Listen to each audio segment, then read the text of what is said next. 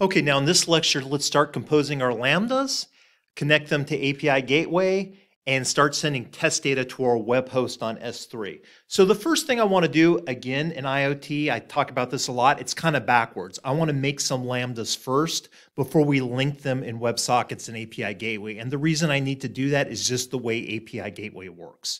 Normally, it would make more sense to put the routes first in API Gateway and then connect them with Lambda. So I'm going to have two lambdas. And again, if you've seen other videos, these are very common lambdas you'll see, but they're all done a little bit differently. So I'm going to create a function.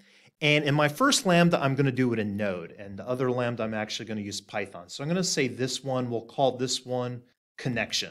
It really doesn't matter what we call our lambda. What matters is what we call our API gateway route. So that's important to remember. So go ahead and create this function. And then we're going to put in our code, but for now, I'm not even going to put in code. I'm just going to use the default code. So there it goes. It created our Lambda, and I'm just going to leave this like this. And then I'm going to create our second function, which is going to be our send message function. So I'll go ahead and create this, and this one will be called send message. I can actually call it like send IoT payload. Maybe that would be cooler. I don't know. It doesn't really matter because that's more accurate what it's doing. The actual route key in API Gateway is going to be called message, but that's just a typical standard. This one I'm going to do in Python. And I really do prefer Python as the years go by for these lambdas over Node, but I still use Node if I'm dealing with asynchronous calling websites and things like this. But normally I'm liking to use Python a lot more. It's just easier as a procedural language than dealing with asynchronous language like Node if I don't have to. Obviously, it's necessary when you deal with web applications. Okay, and I'm just going to leave the default Python in for now that I have created both functions, and that'll be fine. I'm going to create a new tab here by just duplicating this, and now I'm going to go to API Gateway and compose my API. So API, API Gateway create API, and I'm going to create a WebSocket API. Very cool. So let's call this just WebSocket and give it some anomalous name that doesn't matter. How about that? Makes no difference. So the typical one is request body action. We'll stay with that standard. Just make sure when you follow along and do this, you spell it right. Because one time I didn't, and that caused all kinds of problems. So go ahead and next. Okay, so normally people are going to use all of these because they're easy to use. I'm going to try to keep this as the world's simplest asynchronous WebSocket to start. So the only two I care about now are connection, and you don't get a choice on that with that dollar sign. It's a macro that we don't have a choice to use the keyword connect, and that's fine. And I'm going to add a custom one called message, and that's the standard. And message is the route key that we're going to connect with our browser that we're going to send our IoT data payloads through. So this is going to be our most important Lambda. So let's go ahead next, now that we have our two route keys, the macro connect and our custom route key called message. And now, and this is why I had to do Lambda first, it's going to ask us integration type, and both of these are going to be connected to our Lambdas that we just made. Our connection Lambda is, of course, going to be that Lambda called connection that we just composed, and this message one is going to be that send IoT payload one we just composed. There, I found it. Good for me. All right, next.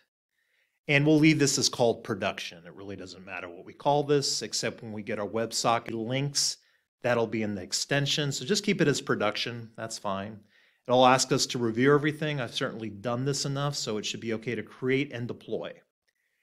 And it's going to go ahead and deploy this. And what we want to do is keep note of our WebSocket and HTTP connection for our routes. So where we're going to find that is stages. So here we've activated connect and message. And if we go to stages, production stage, we're going to need both these. So normally you just copy these down, but instead of doing that, I'm just going to leave this page resident and keep it open. And now we can go back to our lambdas and put in our code. Okay, and to get back to our lambdas, it's just kind of easier to go to routes. And I'll start with my connect lambda and it's going to show this as a Lambda proxy integration. And I'm just going to open this up in a new tab, and that's my connection Lambda that I just created, and then we're going to alter it. And this Lambda is actually going to be quite simple. So we just left the default code in here, and we're not going to do much different. In fact, I'm going to leave this basic response. We don't need to play with that. So I'm just going to paste and copy this code in here.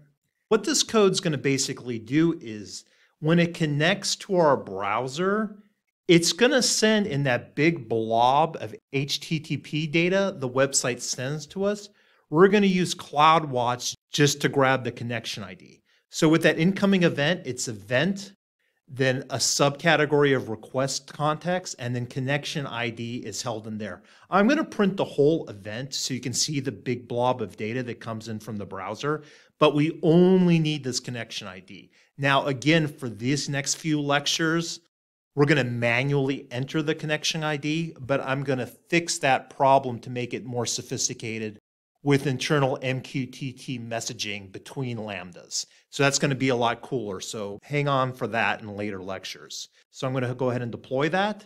So it saves and go ahead to my next Lambda. So come back here to API Gateway, go to routes, and this is my message route. Again, Lambda proxy integration, right click this function we just made, open this up in a new tab. And now I'm going to put a little bit more complicated function in Python, and I'm going to show you what this one does. And in the next few lectures down the road, this is going to get even more complicated to automate our process, but that's okay. So here's my Lambda function in Python. Go ahead and copy and paste that in there. Boom. Okay, so what is this one going to do? This one also, just like the previous one, is going to bring in the event. But for this one, I need to keep hold of the connection ID. So once we get our connection ID from that first Lambda function, I'm just going to go ahead and paste it right in here.